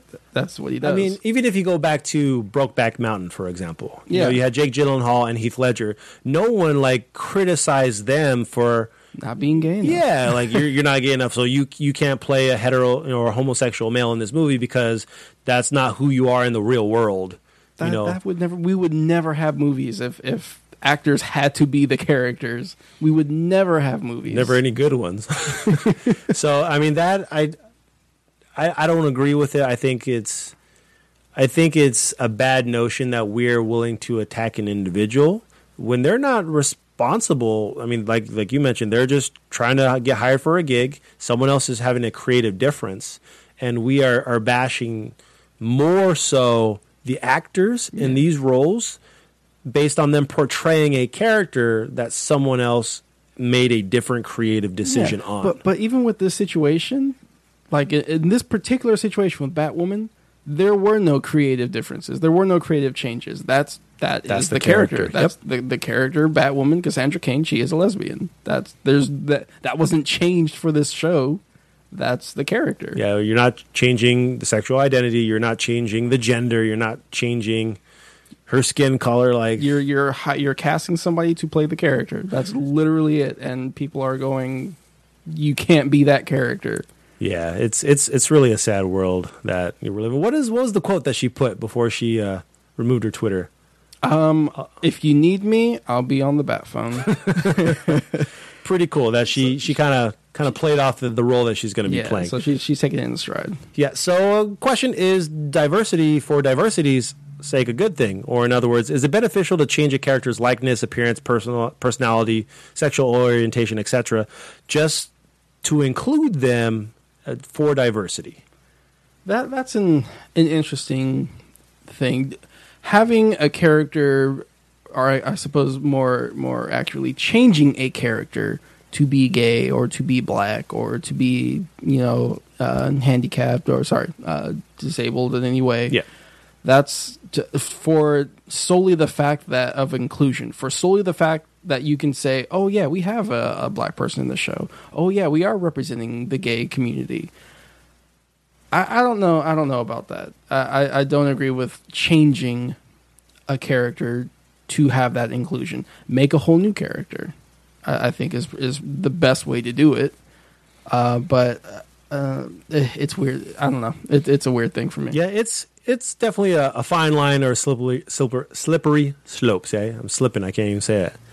Where it's, I understand that there there are people that want to make you know creative decisions and change, but to say that I'm only going to do this because it's not there, it's it's a hard line to cross. Because are you doing it for the right reasons, or are you doing it to just appease somebody because you don't want to look bad? Yeah, and I, I think that's a lot of times. I think it's just so the sole fact that you can say, "Oh no, no, we have that. We we filled that quota." Yeah, you and know. I'm I'm not necessarily I'm not saying it's it's right or wrong, but if you're gonna do make a decision like that, I feel you should do it for the right reasons and not do it for anything that could potentially be the wrong reason. Yeah, So uh, strictly like a numbers game. yeah, and something that you brought up, you know, wrapping up this segment, there are situations where there has been creative changes that have worked or benefited the fan base, um, and then there has been no outcry. There, people have not defended it; they were all for it. So, go ahead and give the uh, the, the big example that you brought up. Uh, well, there there was one that was kind of a big uproar, and I think with um, the new comic series, uh, in starting back in the New Fifty Two or in the new Flash show, is Wally West. Uh, they changed him from a Caucasian to black, that's uh, it, it, I mean it's kind of out there, but they've also changed uh, Iris West. You know, she's she's black now, Mhm. uh, so they they've made these changes. Is it just to have black people there? Is it just to say, you know, do you truly want to change the character to make it uh, a I guess, yeah, inclusive to to add a black character. There's no like real black characters in the Flash universe, really. Uh, so that's that's one way to do it. Yeah, but that doesn't mean there's like n- no black people in, in, in that universe. So I mean, and even you know, you, we were talking off air about you know, even a little bit on it. You're talking about mantles and kind of passing the torch, where there's more than one Flash. Yeah. there's more than one Kid Flash. You know, those mantles do get passed on, and someone else does take up that role. So if you now add a different type of ethnicity into it, that doesn't necessarily take away from what has already been there Yeah. you are passing on to the torch. And when you look at, you know, Wally, you know, Wally West being a different ethnicity, I, I, that's perfectly fine with me. I don't, I'm not, you know, against it if, by any means, and especially being, you know, a fan of the Flash. Yeah. it's my favorite superhero character. Yeah, uh, th- there was one that I was kind of iffy about uh, before Wonder Woman came out. Warner Brothers up and down when we have to get a a female director to direct this movie. Has to be 100%. We can't do it. Man can't do it. And I'm not I'm I'm not one of those people that are like, "Oh, women can't do what men, you know, anything men can do or anything like that." Absolutely not. But why why did it have to be a female like that that was like priority one like we got to get a female director and i'm curious why is, that just to say that hey it's a, it's a movie about a woman let's get a woman is it like hey we we want to support female directors you know i don't know why warner brothers did that but to shut up me and any of the other naysayers Wonder Woman to this day is still the highest grossing DC, sorry, Worlds of DC, uh, their new cinematic universe or new title for cinematic universe. Mhm. It's the highest grossing film in that universe. And didn't that? Uh, I'm terrible with names in the in the movie room. Didn't that female director win either an Oscar or she won an award? She got like best director in one of those categories. There you go. So, um, So she does know what she's doing. hmm And then you know some other other creative changes. You know, weirdly enough, you know, Electro just had this weird. You know, uh, Jamie Foxx played that character in Amazing, Amazing Spider-Man two, Spider-Man, yeah. and just it has nothing to do with the actor. It's just elect Electro just he just looked like a sparking light bulb that was ready to blow up. Yeah, I'm not sure why. And he he his weapon was uh, dubstep. Yeah, like that kind of creative change. You're just like, yeah, you tried, but no. And then you know one that I like that you brought up. Um, you know, uh, Barbara Gordon, Batgirl, Yeah. had a scenario where she got crippled. The Killing Joke. Uh, yeah, this is one of the scenarios where uh, the creative differences and, and I guess inclusion um, was actually a good thing, uh, in my opinion. Crippling uh, Barbara Gordon and having her be it so that she cannot be Batgirl anymore. She can't go out and, and jump over rooftops and fight crime uh, the way that she used to. She adopted a whole new persona. She became the Oracle, who was the that person, that guy in the chair, you know, that uh, was able to hack anything, give Batman any information he needed. And I, I think that was really cool for the character, not only to to have not only to have a character that you know uh, disabled people can can go, hey, cool, you know, Bat uh, Batgirl's now still doing doing the thing, still fighting crime in her own way. But it, I thought it was a really cool way for Barbara Gordon and how her character uh, could be developed by her going through this traumatic experience Mhm. and being able to come out on top and to essentially do better than what she was at before. You know, and that that I think is a is a really cool thing to be able to use that and make it you know turn into a big plus in my opinion. Yeah, I'm definitely right there with you. And there are definitely other creative changes that that definitely help. Whether you know, regardless of what the change is, where you know fans do like the change, and you know we definitely want to support uh, the directors, the actors, the people that are behind the scenes because they're creating all this content for us. And even though we don't like it or may not like it all the time, there's definitely a lot a lot more good out there than there is a bad. And you know, we could argue that either way, but there's definitely stuff out there that that we can enjoy. And I would say if if you enjoy something, definitely continue to support them. Buy the film, watch the movie, purchase the game. If you support them, let them know. You know, send them a tweet. You know, watch the movie. And if if you don't support it, you know, just don't watch it. You Yeah. know, You don't have to be a you don't have, about it. Yeah, you don't have to bash them and be just a terrible human You being don't have to be a griefer. in the real world. Get a bounty. All right, cool. So if uh, it was it was a good topic. You Yeah. know, we had a lot of a lot of good points on there. So uh, if you guys uh, listening out there have any thoughts, feedback, anything you want to kind of give us a rebuttal on, definitely hit us up on uh, Twitter, Facebook, and uh, our email. All right, guys, it's time for my favorite segment, the speed run. Each week, we'll break down seven news stories and facts that just didn't quite make the cut for a segment. We've got one minute per topic before we move on to the next, finished or not. Gotta go fast. Uh, in the speed run, Like, all right, man, this is not my job. This is not what I do. That's what I got. right? Fortnite is now available on Android devices for the first time, but it is currently exclusive to the Samsung Galaxy devices. The S7 or higher, the Note 8, the upcoming Note 9, the Tab S3, and the upcoming Tab S4. So there's a lot of Android devices out there, but Samsung is getting more likely a timed exclusiveness on this game. Well, is, isn't isn't Fortnite already on Apple though?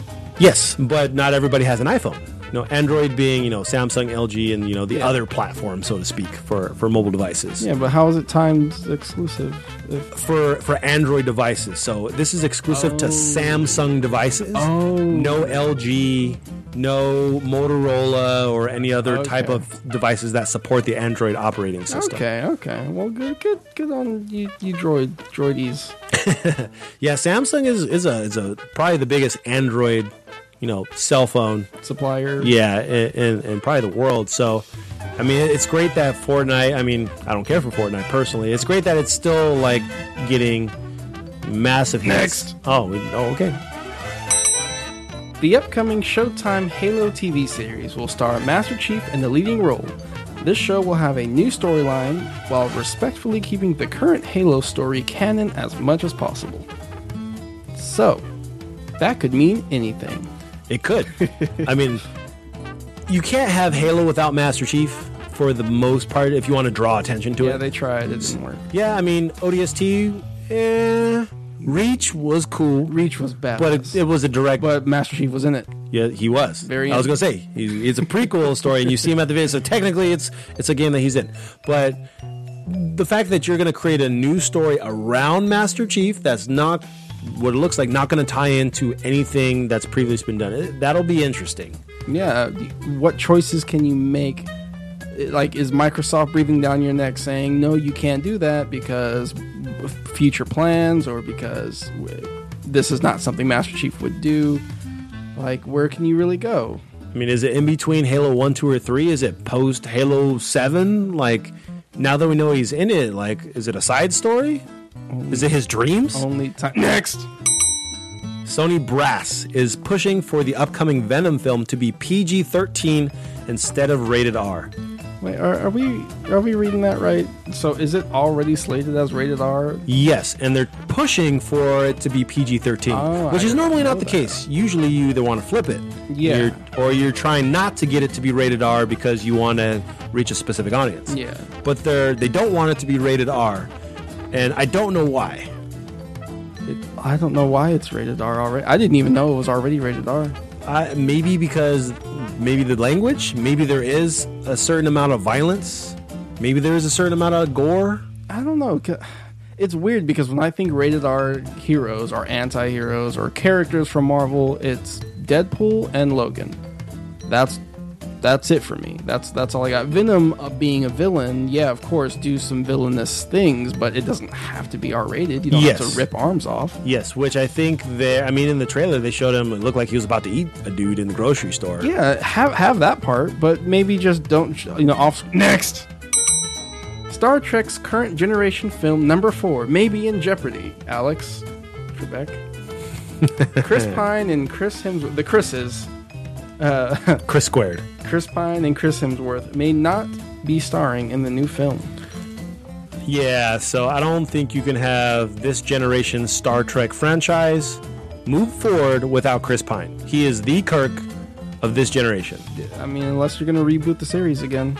I, Why would if- you do that? If something, I, I mean, I guess if if something happens with the contract or whatever, or Chris Pine just really doesn't want to be part of it for whatever reason, I, I guess you can maybe mess around with the time travel stuff and say, oh, this is Chris Pine from the other dimension that's filling in for old Chris Pine. Yeah, or just have a, you know, a, he had a twin brother, or I don't know, some. You can't have a, yeah, I don't know. I'm just making stuff up. But yeah, and then Chris Hemsworth, I mean, daddy role. I mean, he was going to be a flashback. Did he really die? Yeah. My guess is he he would be uh, uh, from another dimension or from another time thing, like Yeah. Kirk's dad from another point in time. Yeah, it, it's it's interesting. I don't know. Capcom is releasing an exclusive Bluetooth typewriter keyboard as a collector's item for the upcoming Resident Evil 2 remake in Japan. It's an awesome typewriter, you gotta look it up. This typewriter will cost about $675, and that's not including tax. Okay, I got a couple couple of things. This is a cool typewriter. This is like oh, oh, keyboard. It's, not- a not keyboard, but it just it looks like the Resident Evil 2 typewriter. which is really cool. yep. Um, is it only in Japan? Right now, it's only set to release in Japan. Of course. And then there is a collector's edition that comes with like ink ribbons, comes with a Leon Kennedy statue and some other stuff pretty for like nine hundred dollars. That's a lot of money. You're like, is the game two hundred dollars? I wonder what's the highest collector's edition. Not not a collector's item that you know that someone has kept over the years to resell, but what Yeah. is the highest? I guess day one collector's edition because I think Assassin's Creed had a really expensive one too. Origins, I think it was like maybe six hundred. Yeah, I don't know, but this is ridiculous. I mean, what's what's what's in that keyboard, man? It like a bunch of cool shortcuts? Is it a? I mean, The ability to save and put a checkpoint in your life. yeah, that's worth six hundred and seventy-five dollars. One Punch Man season two has been announced with an April 2019 release date. I mean, one punchman, as you say. Yeah, yeah, I meant to, to do that after I said One Punch Man. Sorry, I saw your thunder. No, no, no, I forgot to. So, so I'm glad that you brought it up. So I, I put this uh, on our Facebook and got some some feedback on it. And then my brother was like, "Oh my god," because that's how he says that. Yep. Uh, and he asked me if I saw it, and I was like, "I've seen the last episode, Like, like just the last just the episode? last episode." I went over to Ricky's house, a buddy of mine, and it would just it happened to be on. I was just watching it. the hell, man? I know it's spoiled. Why would you spoiled watch everything. the last episode? Like, it was just on TV. You know, you go to someone's house and you just watch what they watch. But uh, I know a lot of people are excited for this. It's been a long, a longer time coming. So I definitely, I mean, well, you haven't even watched it, have you? I am maybe three episodes in. That's more than me, better than me. I mean, I know the ending. I st- uh, yeah, yeah. I mean, April's not Maybe that far you're away. better than me. you know the ending. Uh, tch, uh, we can collaborate and figure it out. April's not that far away, so so it's you know hopefully the animation's really great. Looking forward to uh, Next. Damn. Marvel Studios is celebrating its 10 year anniversary by re releasing all of its 20 MCU Marvel films in IMAX theaters between August 30th and September 6th. This is really cool for the fact that if you want to watch any of these MCU films, you can re-watch it in a big, badass movie theater experience. Will Movie Pass support this? Uh, I highly doubt it because they don't support IMAX. ah, ah. And we don't. But I bet the AMC A list. Probably. I mean, it's and the way I read it over this week, it's it's not going to be a marathon. Like you'll be able to see four or five movies one day, four or five movies the next day, and so on and so forth. So I think the the first movies is going to be Incredible Hulk, Iron Man, and Captain of uh, Captain Avenger, Captain Avenger. America, the first Avenger. The first America. I mean, it's a cool way to do it, so you can kind of relive the movie theater experience if you don't have the crazy 80 inch surround sound TV like some uh, like one of my close friends has. Uh, we will set that up soon. Um, And drink lots of beer. yeah, that that's another thing too. You know, you can you know watch this. You know, And oh damn. Well, that's that's a speed run, everybody. Of course, if you have any other topics or anything else you want to mention, hit us up, social media, and our email. All right, it's time to talk about how we've been doing. So we're gonna give each other. This, this superpower. You you str- you nervous? This, this is dynamite. So uh, at the end of the show, we talk about what's going on with us outside the podcast and give each other stupid superpowers for good or for bad. I don't know, Blue Falcon. Uh, This is dynamite. Blue Falcon. This is uh, better than Droopy. I don't know. Droopy's pretty cool, but Dynomutt has a whole bunch of cool gi- gizmos, and Gizmos are cool. gizmos are very cool. Okay, so uh, should I go first or you want to go first? Let's see. It's usually Johnny Because he, he said it. chooses one of us. Okay, uh, uh, we'll just keep it the same. You know, I don't want him coming back and just be like, "Why'd you guys take up the order and you screwed everything up?" So uh, we were gone. I was gone for a week, You were gone and then week. uh, apologize for those that didn't get an episode last week. Yeah, I know I was gone. You guys, I was told that you guys were pretty busy and we just wasn't wasn't able to. Uh, Things were happening. Things Yeah. were happening that you will hear more about in the future yeah, when everybody's here, when Every- everybody's here. Every, we, everyone everyone will get an update. after we go to another castle and find our princess Johnny. So so so he went back to the past and sent a letter specifically for next week's date, just like in Back to the Future Two, when Marty gets that letter from Doc. Are you kidding me, Doc? Are you telling me it's 8 a.m.? So um, I went. To, Damn! so uh, I went to Evo in uh, Vegas. Uh, it was fun. I didn't. I missed both my time slots, so I didn't get to compete this year. At all? nope. That sucks. We didn't get there till 7 p.m. Traffic sucked. And normally it's a you know an average four hour trip, four and a half if on a bad trip. Took us seven hours to get there. It it was it was dumb. Just people just don't know how to drive. I don't Damn. like. There's no accidents. Yeah. Just I mean, yeah, sure. There's hills and a little bit of wind, but if there's no ac- like not a single car was in an accident on the way there. But somehow people had to stop where it took us almost two and a half times to get there. I don't get it. I really don't. Well, So- at least the, the experience was still there, right? Yes, it was. Uh, Sunday's finals was fun as usual, but it's it's just tiring because you're just sitting there and spent forty dollars on food because everything costs like ten bucks, and you want a drink, you got to buy a four dollar bottle of water or a four fifty soda. Jeez. Yeah, it's dumb. But uh, you know, Smash Well, I Brothers. think you mean that the other way around because usually water is more expensive than uh, yeah, soft sometimes. drinks just because, you know. Yeah, there were some really cool announcements. Um, Cooler was announced in Dragon Ball FighterZ. Sonic Fox ended up winning. Nice. Controversial win because Really? he he lost um, in a reset bracket, I believe, and then Was it because they switched ports or something? no, like no, he wanted the player one slot, so he lost to Goichi, and then um, he got sent to losers. And as he was going back into grand finals from the loser side, Goichi was already on player one slot, and um, Sonic Fox was losing, and then he decided to flip a coin to switch seats. So it was like a five to ten minute time gap, and they flipped a coin, and he won. So he got to sit in player one, and totally killed the momentum of Goichi in that match.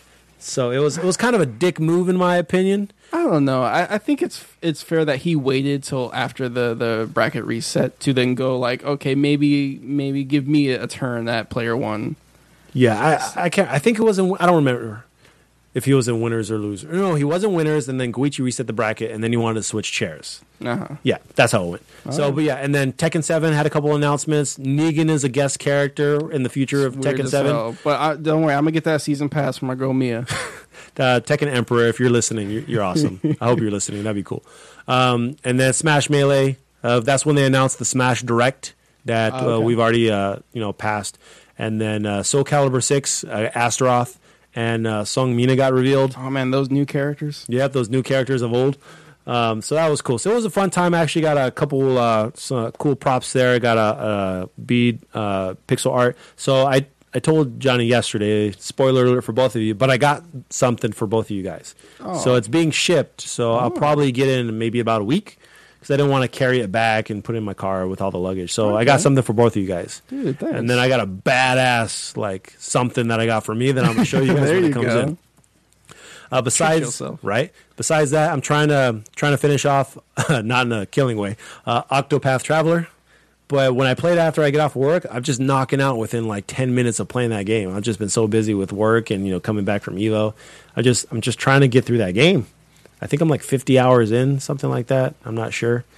Um, and you know, I'm still liking it, still enjoying it, but it, but it's different now because finishing the storylines, like I'm already at a high level. I'm already like my main character is past level 60 and catching up in like story missions that's level 35 and level 40. Yeah, I heard. I heard it's very easy to overlevel yourself. Yeah, just because you're exploring and doing RPG like stuff. So um, I've been, you know, playing that. Um, haven't been playing much else. Street Fighter was awesome. They announced G and Sagat, and it was probably the best, in my opinion, the best reveal.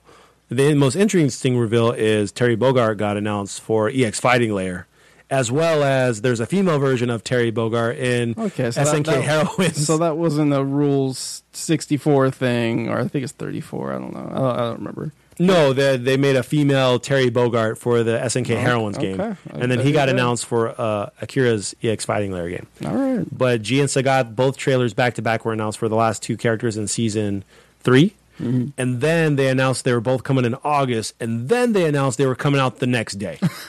like it was like boom, here you go. Like There you go. Damn, that was that's- that was an cool to awesome reveal. That's cool It really was. Sagat Nice. came out with a tiger in his intro, like an actual tiger. so That's- that was cool. That's what he does. So that's me. That's my week. All right. It's cool. So Garrett, your superpower. Uh huh. I I need something. Let me take something. Okay, I got something. Do you like beat art? Like the pixel beat art? Like you see people wearing the necklaces and stuff neat. like that? Yeah. Okay. I like guessing what the characters are. Okay. So you have the ability where you can take any any pop culture item. It can be, you know, from a comic book, it can be a toy, it can be from a video game. You have the ability to instantly create something of a pop culture reference as bead art, as pixel bead art. So you can wear it as a necklace, you can create it as like a wall mount, you can somehow create like a 3D sculpture of a I don't know, 3D Link or Donkey Kong pixel be- what like 3D dot game heroes in real life but with pixel beats. Gotcha. So All right. that's your that's your superpower. I'll make so much money. yeah, you probably, you probably would. You got to share some with that. I give you the bar. Royalty checks. All right. Uh, moving on to uh, my weeks. I'll kind of clump them together. Um, so last week, a game that we had the pleasure of playing at uh, PlayStation Experience came out of 2017, 20, 2016, because I think we missed last year's. Um, Chasm. Oh, d- oh, I totally forgot that came out. Yep, Chasm came out. Uh, pretty damn fun. It's it's Metroid, the Metroidvania. It's Yeah. it's it's It's it's a Castlevania like for yeah, sure. Yeah, definitely. More than Metroid. Um, love the the the weapons and the exploring. There's there's mechanics in it that that are a lot of fun. Nothing nothing like crazy new, but it's it's just funny. There was a puzzle in it that you have to to explore and look at rooms to to get the clues. Okay. It, it doesn't tell you. There's nothing that you click on or anything. It's like, oh, I'll add this to my clue thing. You It's it's it it's out. literally like, oh, okay, this is an interesting room, and then you leave. so that that was a, a little fun gimmick. Um, unfortunately, I only played it for a week because last week, Because you beat it. no, Oh, okay. Dead Cells came out. Uh, I haven't watched any gameplay on that besides the initial gameplay reveal. I was some time ago. I think you would really like this game, Joshua. It's getting pretty pretty good reviews. Yeah, some not so authentic. Yeah, I mean, one guy lost his job because of his review. R.I.P. Uh, dude, I'm not gonna I'm not gonna bash him. Yeah. Um, but that game is a lot of fun. It's not my kind of game. It's not your cup of tea, but you like it. Well, it, it's not. It's not a game that I would usually be interested in. It's there's actually some things I w- I would like to change about it, but that's the reason why you come back. Are you talking specifically gameplay? Y- yes, yes, specifically gameplay. Um, you will die in this game, and when you die, it you reset. There, there's no like, oh, I got a checkpoint at the third level, so I respawn at the third level and just kind of re- you know retry. It's game over. Start start from the beginning. Yeah, because it is a roguelike. Yes. You know, die, you start over. Yep. Uh, but each run is so different because you get random weapons. And depending on what weapons you have, that's like your loadout, and it's like, okay, so this is what I'm, what I, what I got. All right, I'll let's- try. Let's, let's see how far I can go. exactly. And so, uh, you you go around killing uh, killing enemies, monsters, and all that, and every now and then they'll drop a blueprint. Uh, these blueprints, if if you survive and get to the end of the level, which isn't always you know Mario get from point A to point B. Sometimes you have to you know explore and maybe go down uh, go down to the lower levels to find the exit. And if you make it to the exit with the blueprints, uh, you go to a guy called the collector, and that that's like added to your unlockable uh, uh, items. Okay. But you only unlock items by investing souls into them. So, say like uh, you'll get a new sword, and it says zero out of fifty, or uh, it just says fifty. Um, you need to put in fifty souls, which is, oh, sorry, not souls, cells, cells uh, which is something that you'll get at random. It's the currency. It- It's not like whenever you, it's not like Dark Souls where oh I kill someone I get twenty souls. It's like Yeah. I kill someone oh okay I, I get some money this time okay nice. Oh okay I killed that guy that guy gave me a cell. Uh, if you die you lose all your cells. There's there's no like reclaiming your body kind of thing. Like it's it's addictive. It's it's tough, challenging, and addictive Okay. and it it rewards uh speed running i guess if the the dungeons are randomly generated so it's not the same every time but there's these kind of timer doors that uh are able to be un- opened if you get to them quick enough Okay. and it'll let you know like say if if you're too late it'll say oh this door was sealed off 30 seconds ago and so you, you know like oh okay uh, what what could Oh, I, what could I missed have it. done faster? You know kind of thing. Uh, a lot of fun. I'm playing on my Switch uh, so I got it on the go. I'm very very happy with it. Um I guess the only thing that I would change which is what I was saying is counterintuitive to the game design is I wish that when you unlock these weapons, you were able to choose them for each of your runs, like choose your loadout. Basically, it's completely random every time, which is part of the fun of it. But um, So you, now it's unlocked where it can be an extra item that's randomized. it, it's when you unlock a blueprint, it's now able to be random, a, a, a random draw. Part of your random inventory. exactly. Gotcha. Exactly. Uh, so I think you would like this this game uh, quite a lot. Is it on Xbox? It's on Xbox. It's on PlayStation. It's on Yeah. Steam. It's on Switch. It's my preferred method because of controller and big TV. yeah. Nice. I'm Uh, definitely I- gonna check it out soon. I also watched a movie called Ready Player One. Have you not seen it this whole time? I've not seen it this whole time. Bought it last week and then just got to it yesterday. Sorry, we were gonna do a review on it, but we didn't. We didn't because I don't think I watched it. Uh, you didn't watch it, and I think Johnny was just like, "It's not as good as the book, so I don't care for the movie." That sounds like Johnny. I'm pretty sure he said that, or something close to it. he can defend himself if he comes back. Yeah, maybe. He will return. That'll be that'll be the tagline at the end of our show. Johnny will return. Very much uh, like they said that in the end of the event, Uh, yeah. Avengers credits. Yeah. Um, I like that movie. I like that movie a lot. Did you read the book No, or audio book Nope. it? okay. I didn't read it and I didn't listen to it Okay. because that's not reading. Uh, yeah, we can debate about that, Felix. Uh, but yeah, I, I thought it was it was really entertaining. It was not what I expected, and I think that's a good thing. There's so many references. I saw Tracer three times. Three That was cool. because in the same fight, or no, no, she's in like throughout the movie. the movie. Throughout the movie, There's Tracer. No, there's Tracer again. Ah, there she is again. That was Tracer.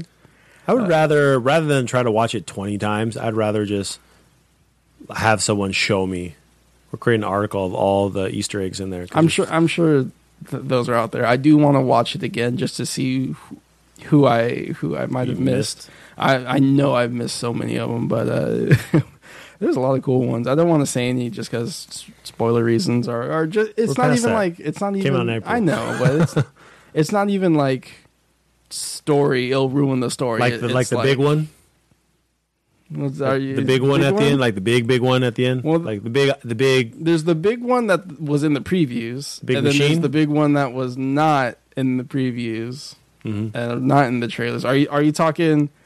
Are are you no, which big one are you talking? Because there's two. Anime. Okay, all right, all right. Because that one was not in the trailers, right? That one, to my knowledge, was not in the Correct, trailers. yeah, that one Nor was in- was the one that that one was fighting. Yeah, yeah. That it was Cool funny because you, you can hear the music. Like I heard the music when that showed up, and I'm like, "That's the music to da da da." Yep, it's a thing. Yep. so yeah, uh, that, that was a very fun movie. I don't know if they can. I, I mean, it's Hollywood, so they can. Mhm. You know, make a sequel. but uh, I would be interested to see it. I don't think they'll get one. But it's Hollywood; Yeah, they it can is. do it. I mean, if they can tell us they're going to give us live action like Gundam and Aladdin and whatever else. Look, Sony is bent on making a Spider-Man cinematic universe without Spider-Man. I think Hollywood can make. By the way, did you hear? Okay, okay. So there was going to be a movie called Silver and Black, which was going to be Silver Sable and Black Cat. Okay. Sony has scrapped that, and instead, they're going to make two movies. They're going to make a Silver Sable movie and a Black Cat movie And then another movie where they're together. and then maybe they'll make Silver and Black. I just don't see how they're going to make so many movies. Kraven the Hunter. Kraven's getting a movie. How are you going to make all these movies without Spider Man? They're not. I don't think so. We'll see how Venom does. Spider Man's in, in with the other guys with, with Marvel. Underoos. Maybe they'll have a different version of Spider Man. Can they do that? Uh, I, Does Disney have the rights to all Spider Man I, I would assume now. now that they've acquired Fox? I would assume now they do. If they don't, then you, Ben Reilly would be pretty cool. Uh, Scarlet Spider Man. yeah, that'll be I like Scarlet Spider Man. A lot of people a- don't. That'll be a new topic.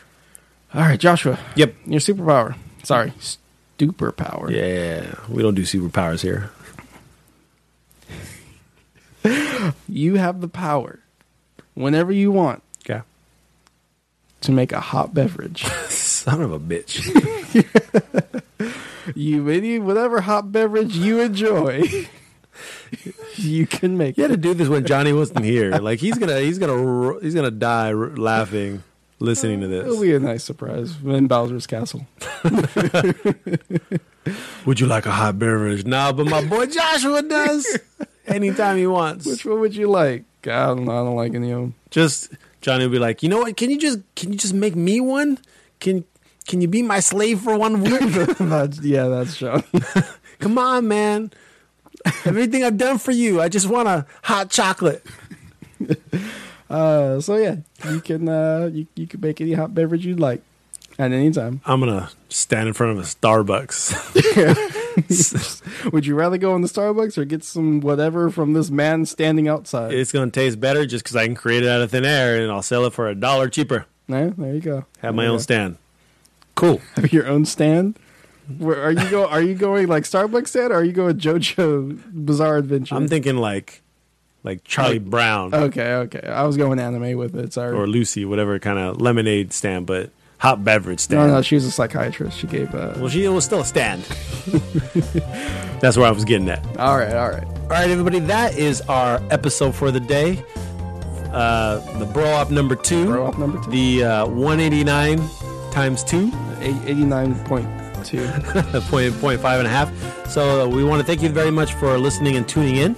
Uh, of course, you, we should be back to our normal schedule uh, time starting with this upcoming episode, and then we actually uh, we're still going to do the, uh, the the special episode. I am so wanting to do this special episode. All right, so we're going to do another Bro Op episode, but we're going to be talking specifically about the Super Smash Brothers Direct.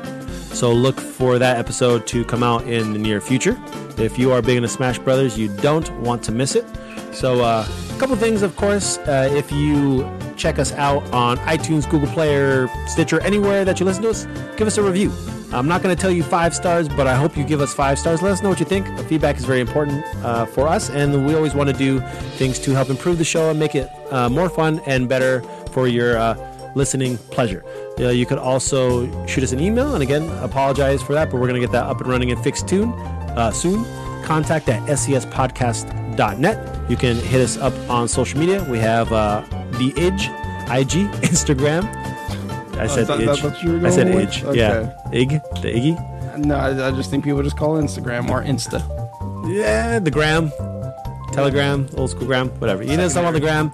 Uh, Facebook, just look us up, Super Co-op Squad. You look us up on Twitter. Feel free to reach out to us on uh, any of those mediums. Uh, on Twitter, you can find me at Eternal Red Gamer. And you can find me at GJL327. And uh, if you want to uh, tweet Mr. Johnny Mac to let him know if he's okay, it's at Johnny Mac 24. Sure. it's like we don't even know. Bowser's bitch now. Yeah, we're gonna have Peach on our next episode. they, they did a, s- uh, a role swap. Uh, that would be cool. that, that would be cool. Cool. So, other than that, we're gonna let you guys go. Thank you again for listening. I am Joshua Gerard, And I'm Garrett Laney. and we hope to see Johnny Mac and you all next time. Bro, up out. Latest.